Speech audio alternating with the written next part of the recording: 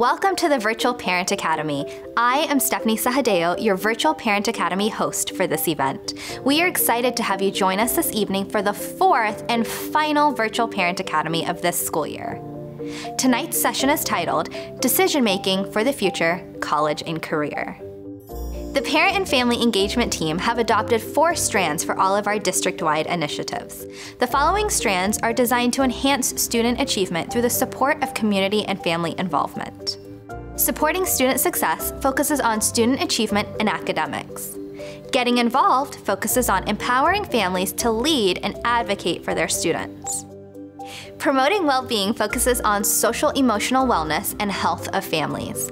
And embracing multiculturalism focuses on connecting diverse cultures to our school system. Before I introduce our guest speakers for the evening, I would like to take a moment to say welcome and thank you to everyone this evening that is logging in to our final session. We have two presenters this evening, all from our very own OCPS departments. Our first presenter this evening is Anna William Jones, Director of Mental Health Services, who will be sharing information on social emotional learning as it pertains to one's future. Followed by Nicole Gurley, OCPS College Transition Counselor, presenting information on college and career readiness. Both Anna and Nicole are online this evening to answer any questions during this presentation. Please help me welcome Anna.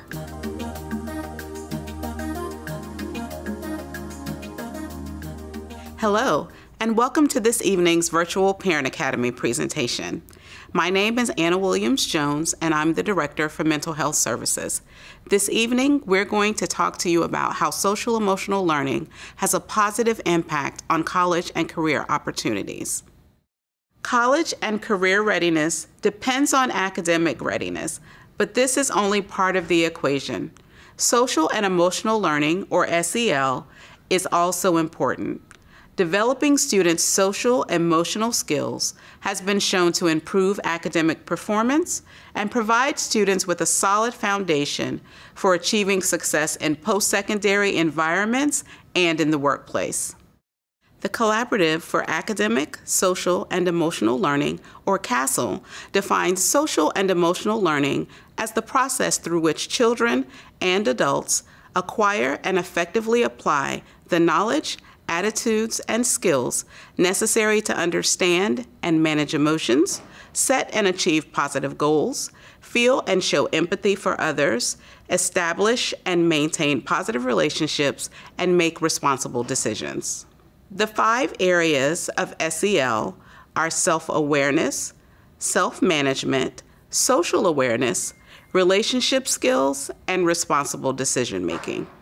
SEL development is ongoing from childhood through adulthood.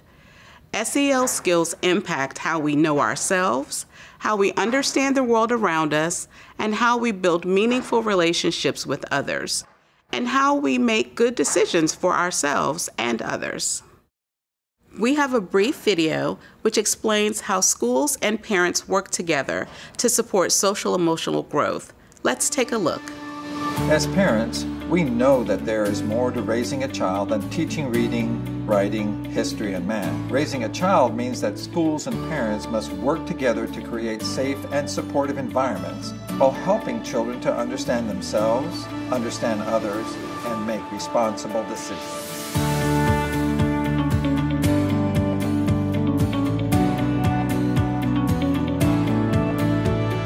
It's important for children to see that they have role models that aren't always the ones that they expect to have. You know that saying that um, parents are the first teachers, that's, that's very true because I think that as a school, there's only so much that we can do. I think parent involvement in school is huge because I think it's really important when kids feel the partnership that their families have with a school. And so we work to have structures and systems in place that will help kids be able to do those things. Social and emotional learning, or SEL, is how children and adults understand and manage their emotions, set and achieve positive goals, feel and show empathy for others, establish and maintain positive relationships, and make responsible decisions. When adults are modeling SEL for students, whether it's parents or teachers or staff members, they're really building relationships with one another, which ultimately impacts how they work with one another as adults. I think it's really, really important for them to be self aware. I think being able to identify their emotions and deal with them, it's sometimes really important to be able to stop and reflect. We're intellectual emotional creatures. To learn the skills necessary, one has to have both a healthy internal life and external life. And so being self aware of that is really critical. First of all, we have to learn how to manage our stress ourselves, how to deal with stress. In today's society where everything just seems to go 90 miles an hour, you have to just take a time out yourself. I mean, it's important for to be shown to him that there's different ways to deal with stressful situations. Teach them how to deal with emotions. Like, did we give them the skills to be able to handle conflict or resolve conflict? When kids are able to process their own feelings, acknowledge what's going on with others around them, not only for others, but for oneself, right? Forgiveness and what, what led to this? How might I do this differently? They have to have a sense of empathy. They have to have respect for other people, um, other cultures. I want him to learn how to interact with other kids, how to play, how to cooperate, you know, how to do things together also have fun.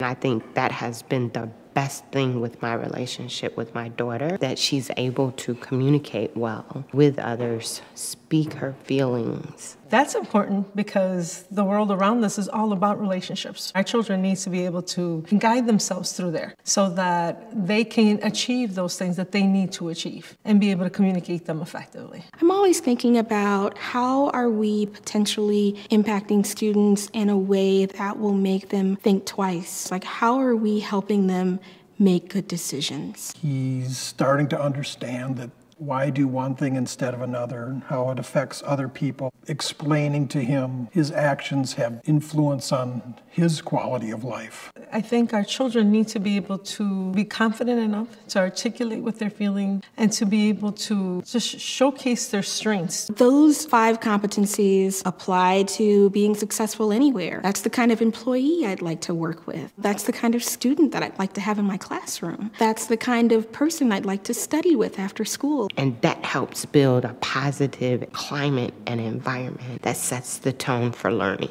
Research shows that SEL can have a positive impact on school climate and promote a host of benefits for students, including better academic performance, improved attitudes about school, fewer negative behaviors like office referrals or drug and alcohol use, and reduced emotional stress every child can reach their full potential and are provided the supports and the resources that they need to reach that potential. My hope would be that families are engaged and feel welcomed at the school and can get the resources that they need through the school. In order for students to meet their full potential academically, I think that you know, their social and emotional needs need to also be met. Social emotional learning is something that people can learn and that we can help to teach that. My wish or my hope is that schools see themselves as places of support for kids and families and community. We are their number one role model. Between modeling and direct engagement in their education and direct engagement with the school and the teachers and participating, the parent's the number one educator from day one. Those strategies that mom and dad share with them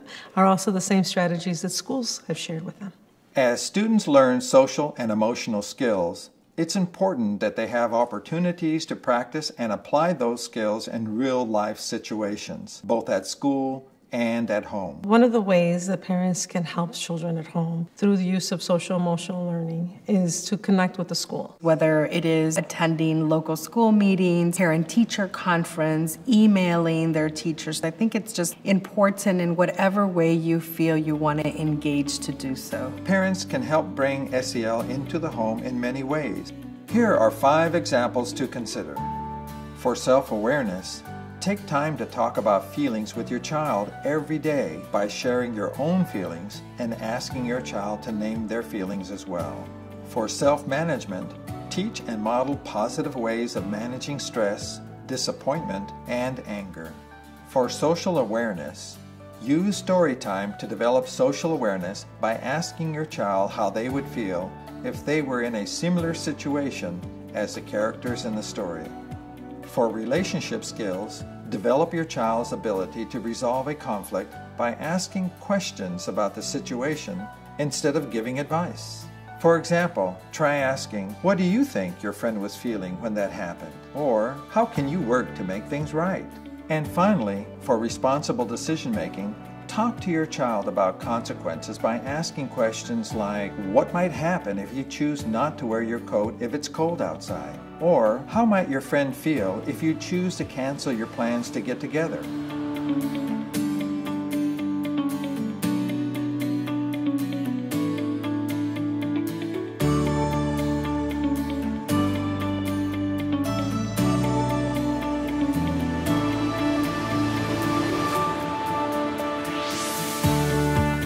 Social emotional learning helps us because it brings us all together.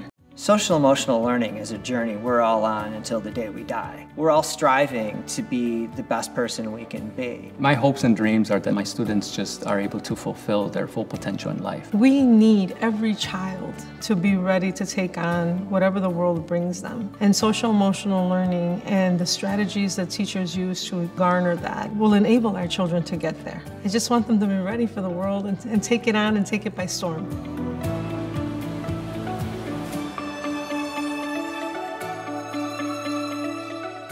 All five areas of social emotional learning significantly impact college success. Self awareness is important for maintaining a well grounded sense of self confidence. Self awareness involves the ability for a person to believe they can accomplish a goal or execute a plan. Self awareness has been shown to shape long term aspirations and career trajectories. A strong sense of self can help high school students feel confident in applying for college or in choosing vocations that are good for them. Strong self awareness can lead adolescents to choose fields where they are most likely to be successful and fulfilled. Emotion regulation is an important part of self management and involves learning how to handle feeling overwhelmed and to adopt strategies that help you feel balanced again after feeling overwhelmed. Self management is important for students as they start to experience more difficult schoolwork in high school and college and experience more intense emotions and pressure to succeed. Students who can cope with stress have been found to be able to transition to college more successfully and do better academically than students who have difficulty handling stress. Social awareness helps us recognize and appreciate how we are the same and how we are different from others. An important part of social awareness is the ability to understand and respect the perspective of others in social situations. Social awareness can also help you identify situations where social support can be a resource for managing difficult problems. Parent and peer support for students transitioning to college or a career can help reduce stress, anxiety, and help students to meet the increased demands of college. Social awareness can also help students navigate work environments where they may need to use these skills to avoid or resolve conflict in an appropriate way. Having strong relationship skills can help students build a sense of belonging in college and help with the process of adjusting during the first year of college or in transitioning to a vocation. Relationship skills also help students build new social networks, which can help reduce feelings of loneliness, increase feelings of support, and help students stay in college. Relationship skills help students access adult support, including high school guidance counselors, college faculty members, managers, and other support services. Relationship skills include things like communicating effectively, developing positive relationships, demonstrating cultural competency, practicing teamwork, and collaborative problem solving, resolving conflicts constructively, resisting negative social pressure, showing leadership in groups, seeking or offering support and help when needed, and standing up for the rights of others. Responsible decision making is the ability to make caring and constructive choices about personal behavior and social interactions across diverse situations. This includes the capacities to consider ethical standards and safety concerns, and to evaluate the benefits and consequences of various actions for personal, social, and collective well being. Responsible decision making becomes increasingly more important as students enter new settings that are independent from their parents, like a college and a workplace. As students get older, they get better at reasoning in abstract and in systematic ways. This can help students imagine possible outcomes, good and bad, before they make a decision. This can be essential as they face decisions that may have a lasting impact on their long term life satisfaction. According to a 2013 survey by CASEL, most teachers believe that there is a connection between SEL and positive life outcomes. According to the survey, 87% of teachers believe a larger focus on social and emotional development would improve workplace readiness. 87% of teachers believe social and emotional skills help students to become good citizens as adults. 80% of teachers believe social and emotional development would benefit a student's ability to successfully move through school and stay on track to graduate. 78% of teachers believe a larger focus on social and emotional development would help prepare students to get to and through college. And 75% believe that social and emotional development would improve student achievement in academic coursework. There are many ways to support social and emotional development at home. Some examples include be a good listener. Listening is a critical skill that can be hard to learn. By actively listening to your child, you can help them develop this skill, which will support SEL development. Model the behavior you seek. Children learn a lot by watching their parents.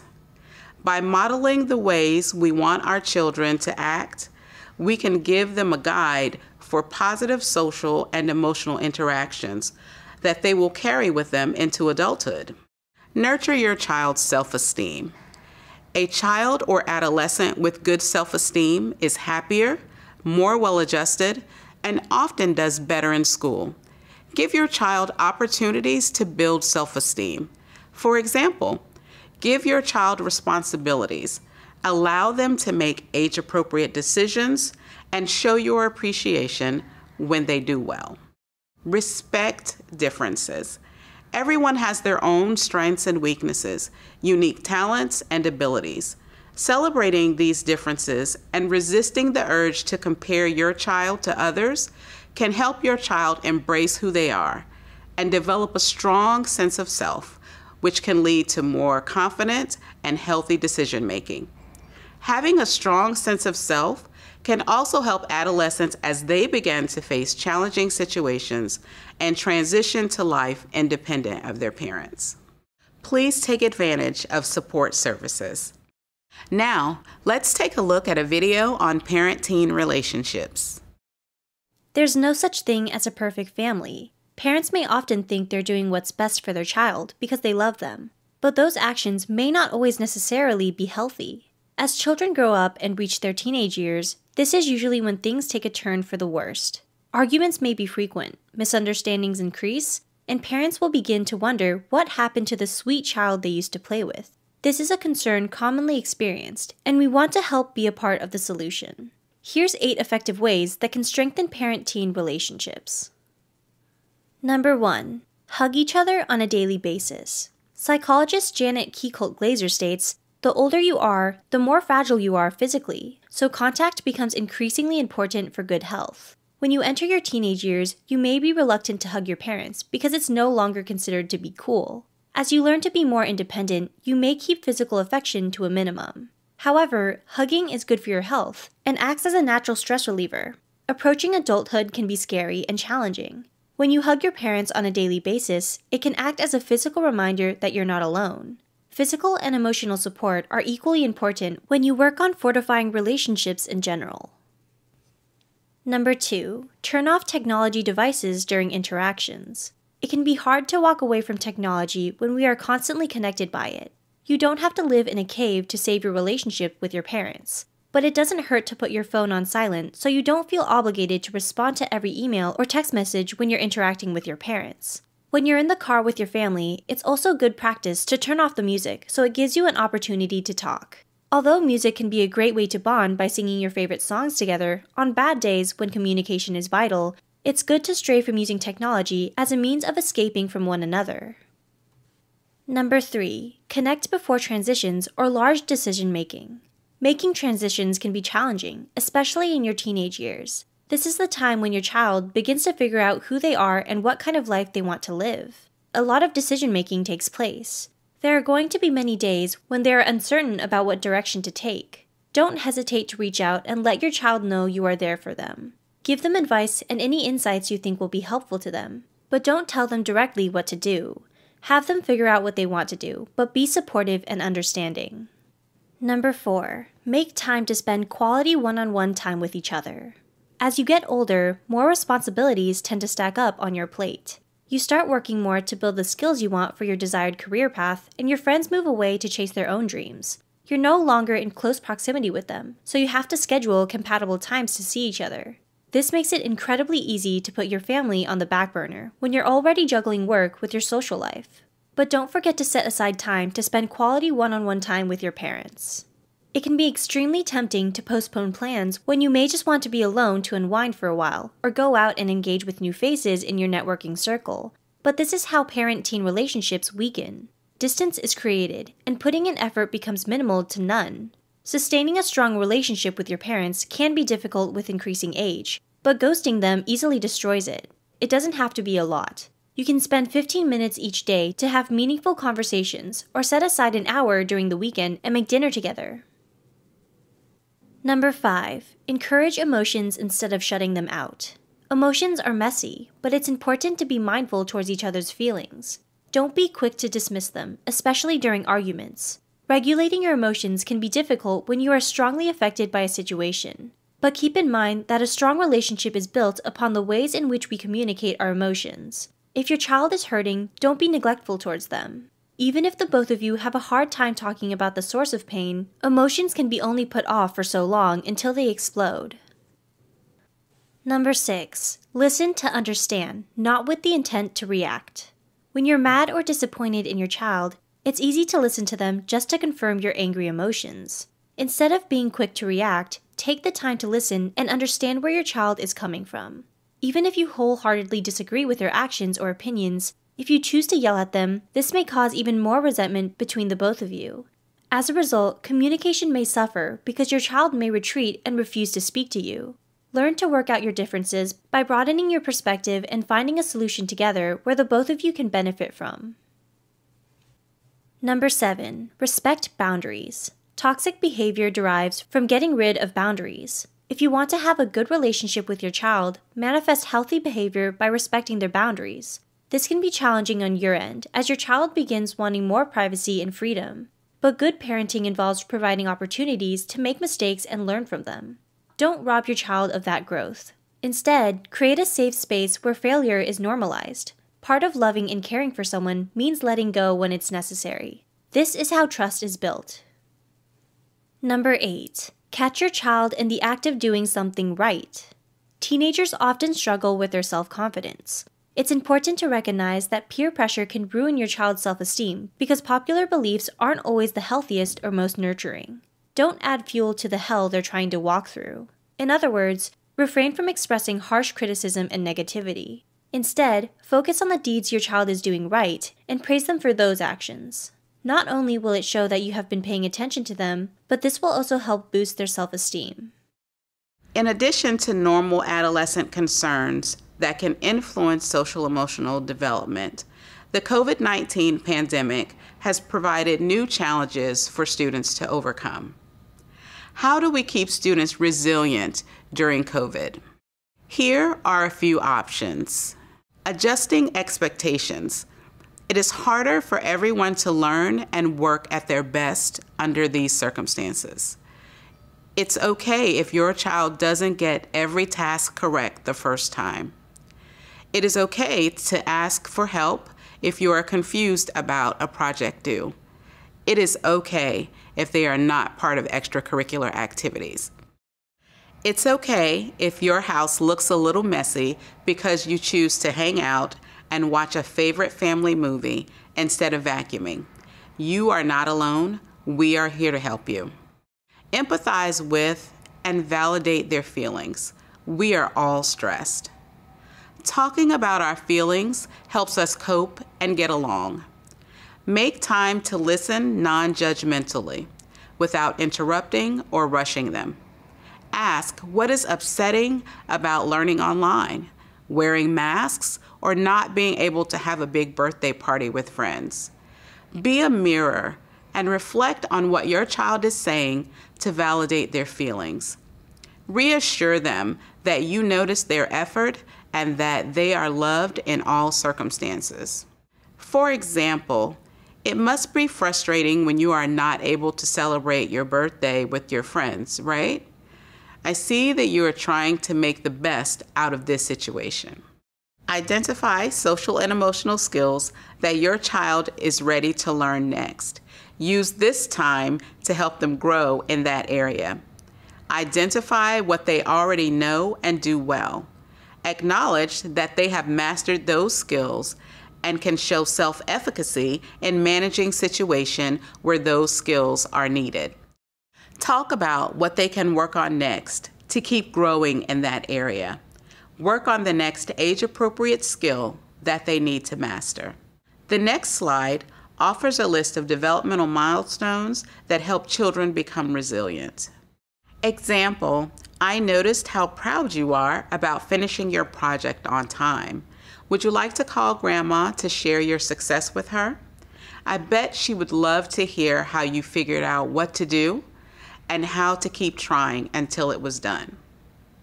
Offer opportunities to practice resilience with guidance and encouragement.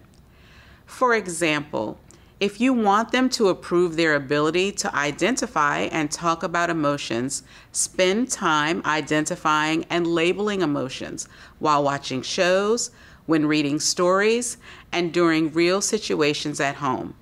Practicing together builds a stronger relationship. And remember, it's okay not to be perfect. You build resilience by working through challenges and failures. It's okay if your child still needs your support and guidance to cope with challenges. Provide encouragement and support, emphasizing that errors are opportunities to try again. For example, you practiced your math all week and got all your multiplication problems right on the test. Your grade shows that you made great progress. I bet you are feeling proud. What do you want to concentrate on now? Here are a few strategies that build resilience. Check in, check out using emotional thermometers, feeling wheels, and or pictorial feeling charts. Identifying feelings is essential to managing them. Using a visual chart like this one, a feelings wheel or thermometer with older children helps you start conversations about emotions. This will build your caring relationship as you model and teach them how to identify and label emotions. You can find this chart and other resources at do2learn.com. Breathing deeply in a rhythmic pattern helps our bodies to calm down when we are upset. There are many breathing strategies that can be used with adults and children. Here is a simple one that can be used at any level. Let's give it a try.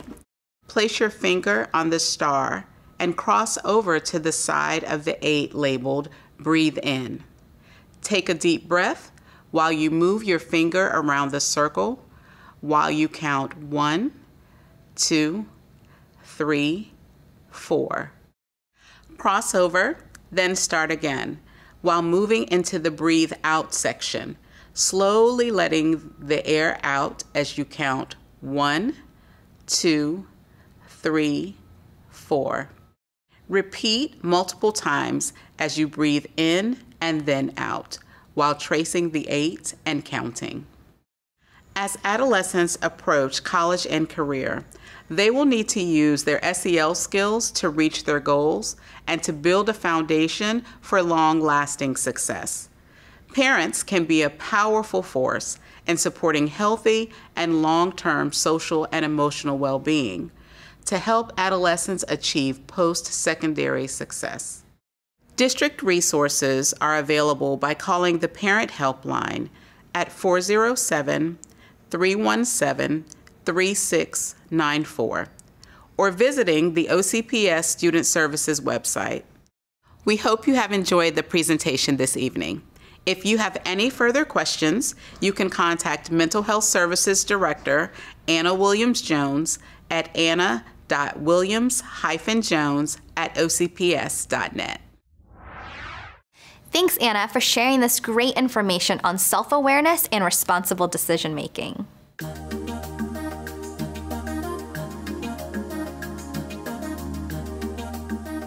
Hello, my name is Nicole Gurley, and I'm an Orange County Public Schools College Transition Counselor. There are five of us that go out into the high schools every week in order to help students with anything college and career related. Today, I'll be talking about what a student can be doing in order to make sure they are prepared to apply and be accepted to their college of choice. These days, most colleges pride themselves on looking for holistic students. What that means is that the colleges are looking for students that are well rounded. They not only look at the data of their grade point average or GPA and or test scores, but look at the applicant as a whole. They want students that have gone above just getting good grades and go out to help others in order to help make themselves better people. What are the students doing after school and in their free time, away from studying?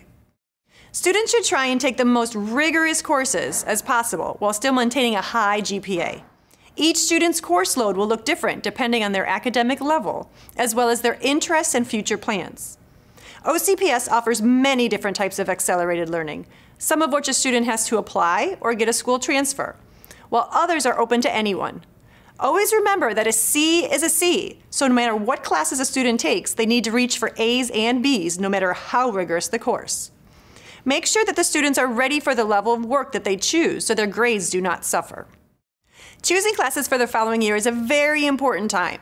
Colleges will look at a student's transcript in order to see if a student is challenging himself or herself and ready to be successful in courses in college. Any high school class that a student has taken will appear in a student's transcript, even if the high school course was taken in middle school. A student must take at least two years of the same world language to be accepted into a college. They can take them at a two year state college before transferring to a university if they'd rather wait, but it's recommended to take them in high school. Why is it so important to take rigorous courses? Well, besides looking good on a transcript, they also help with the student's GPA. On a normal, unweighted scale, an A is worth four points, B is three points, C is two points, D's are one point, and F's are zero points. The GPA calculation is just an average of all of the students' grades in each class. When an OCPS weights the GPA, they add one point to any honors class. So the A becomes 5, B is 4, C is 3, D's and F's stay the same. Colleges also make their own GPA with only core classes and advanced classes and weigh the honors courses half a point instead of the one point that OCPS uses. Honors classes are important for the GPA. However, there are other important advanced level classes. All advanced placement, dual enrollment, international baccalaureate, and advanced international Cambridge exam courses are all weighted the same. On the unweighted scale, they do not receive any extra points, but on OCPS's scale, they're weighted two points, and for colleges, they're weighted just one point. Keep in mind that all of these courses, whether core classes or electives, will also be included in the college GPA. It is also worth a mention that the GPA scale for the Bright Futures Scholarship weighs all honors and advanced courses only half a point. Here in Florida, we have 12 public universities. Every year they post what the middle 50% of their acceptances had for GPA and test scores. They also post deadline dates and other important information. Keep in mind the GPA listed will be a recalculated college GPA with only certain classes. Here's a graphic of what the matrix looks like every year. You can see the Florida public universities listed, as well as how to apply, average GPA, and average SAT and ACT scores. Dual enrollment programs are a great opportunity for our students to show a rigorous level of coursework while starting to earn college credit. Students are enrolled in both the high school and the college at the same time, so they receive both high school and college credits. Some students are able to complete their entire associate's degree while still in high school. All of our dual enrollment programs offer free tuition and books, with only occasional minimal costs for additional course requirements. Orange County Public Schools partners with four different colleges for dual enrollment at all high schools. Valencia College, University of Central Florida, University of Florida, and Orange Technical College. Some high schools have partnered with other colleges as well, so make sure to check with your high school to see if they have other programs. Each of these programs has its own requirements and applications to attend. They also each have their own system in place for registering for classes, paying for books, taking the classes. The best place to get information is on their direct websites, but your school should have more information as well. Students must make sure that they are prepared to take college level courses before they decide on a dual enrollment program, because there is no easy way to drop the courses. These classes will stay on a college transcript forever, even though the student is only in high school or middle school. Valencia College is probably our most popular dual enrollment program throughout the district. Students have the chance to graduate from high school with their Associate in the Arts degree, which is their first two years of college paid for. Students in 6th through 12th grade can take classes through Valencia College as long as they have a 3.0 unweighted high school GPA. Students can take classes at Valencia in their home school, or they can take all of their classes at Valencia. Students must have started previously in order to take a course in the summer. The University of Central Florida also accepts dual enrollment students from 6th through 12th grade, as well as early admission to senior high school students. These students must be very strong and score either a 1330 on their SAT or a 28 on their ACT and have a 3.8 recalculated college GPA. They can take either online or face-to-face courses. Another option for students in 11th and 12th grade is taking online courses through the University of Florida. The students not only can use their SAT of an 1100 or ACT score of a 22, but also PSAT scores of an 1130. They also must have a 3.6 unweighted GPA. Students can only take two courses each semester. Dual enrollment may seem like an incredible experience, but it may not be for everyone. Students are able to get a look into college life while taking free courses and can try and finish college sooner. It also may look great on a transcript for colleges that they are applying to. On the downside, some top colleges prefer AP courses at the high school over the dual enrollment courses. The AP courses are not more rigorous, but the content is consistent, so wherever the student is taking AP English, the AP exam will be the same. So the curriculum is consistent. If a student is taking Freshman Comp 1 at Valencia, the teacher may change the curriculum. Another problem that students run into is that the college grades will stay in the college transcript forever. So if anyone in the future needs the college transcript, those grades from high school will be there, as well as averaged into the college GPA. Another option for our 11th and 12th grade students that is different than the other dual enrollment programs is through Orange Technical College. If a student is interested in receiving a technical certificate, they can check with the career specialist at their high school to see what programs are offered. Students will take part of their classes at the high school and get bused to and from the technical school. These credits can transfer to Valencia, however, they do not transfer to other universities. Besides colleges looking at a student's GPA and transcripts, the college may also look at the student's test scores. There are some colleges that may be test optional, so the student may not need to send test scores. However, many colleges, including our state university system in Florida, require test scores as part of the application process. Here in Orange County, all students have access to the Khan Academy program in order to help them study. The program uses previous PSAT and SAT scores to build a curriculum for the student. They will practice these deficit skills to prep for future SAT testing. Additionally, some of the high schools also offer special test prep programs. Students will take the PSAT and have the opportunity to take the SAT for free annually. If they take the PSAT their junior year, the scores can be used toward qualifying for the National Merit Scholarship, leading to additional scholarships and some college acceptances. Colleges look at both academics and extracurricular involvement. Students do not need to drive themselves crazy with too many activities, as they still need to keep their grades up. But instead, find activities that they are passionate about and truly enjoy. Work does count, so if a student needs to work to make money, colleges will take that into consideration as well. Another thing to think about is that colleges will pay special attention to any activities that the students have leadership roles, as they are looking for future leaders at their schools. Along with extracurricular activities, colleges will also look at community service involvement. Again, it is not how many hours a student has completed, unless they are working towards a scholarship, but that they are actually committed and passionate about the project. If a student does not find a community service opportunity that they are passionate about, the student may want to look into starting a project. Finding a community service project that ties into their future or major is usually a great way for students to make sure they are on the right track with what they want to do. Another thing that can help a college application is attending a summer program. Some programs do cost money, but others offer scholarships. Many colleges have summer programs based on certain majors, while others offer a variety of choices to try. Here are just a few that students have attended at UCF, MIT, and Duke. While students are preparing for college, they should also think about how they're going to pay for it by getting free scholarship money here in Florida, we have the Florida Financial Aid Application, where during their senior year, students can fill out one application to match 14 different scholarships and grants.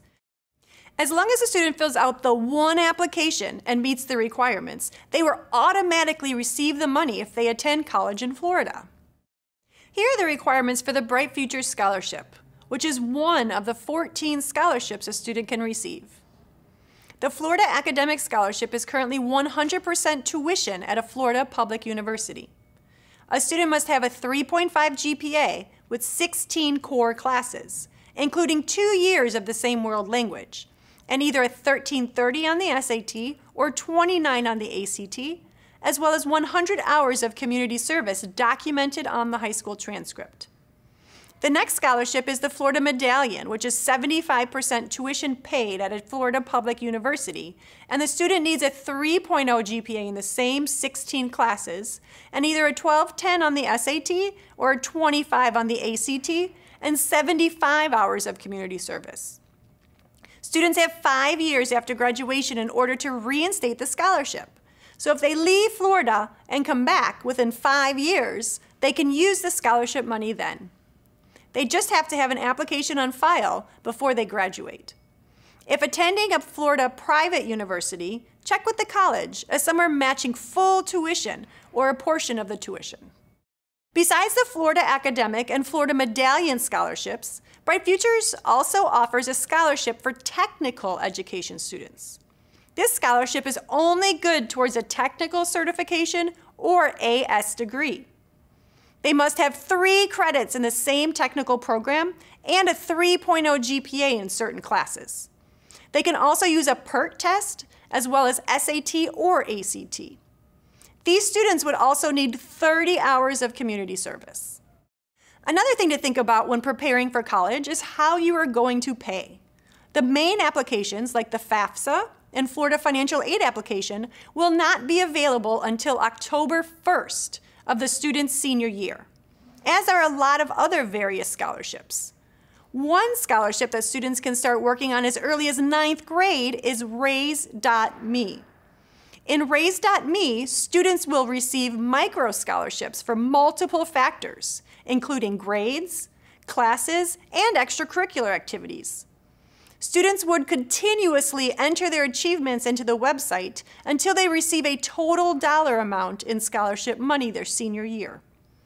The colleges that are part of the Raise.me community would accept the Raise.me money if it was more than the college itself was already offering to the student. Students in their junior year can sign up for the College Board Opportunity Scholarship, where they can complete tasks in order to go into drawings for $500 scholarships. These tasks are college related and therefore beneficial to all students. If students complete all tasks by their senior year, they will go into a drawing for $40,000.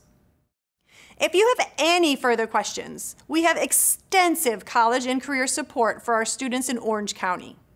Every high school has a college and career center that is run by a college and career specialist. The district also has five college transition counselors that go out into the high schools to help with anything college and career related. It is never too late to get involved in your student's future. Thank you for attending this session, and we hope you are feeling more prepared to assist your student on whatever path he or she may choose. Thanks, Nicole, for sharing with us the different colleges and scholarship opportunities. For additional viewings of tonight's episode, you can check the website at www.pfe.ocps.net, which houses all of our previous sessions. You can also view our calendar of Engage 360 events, parent academies, and virtual parent academies for this school year. Lastly, remember, you can follow Parent and Family Engagement on Twitter using our Twitter handle at OCPS underscore PFE and our Twitter hashtag, hashtag OCPS PFE to stay up to date with our workshops, helpful tips, and our resources. Thank you for tuning in to our fourth and final Parent and Family Engagement Virtual Parent Academy event of this school year. We hope to see you on May 15th for our last Parent Academy of the school year. Have a great rest of your evening.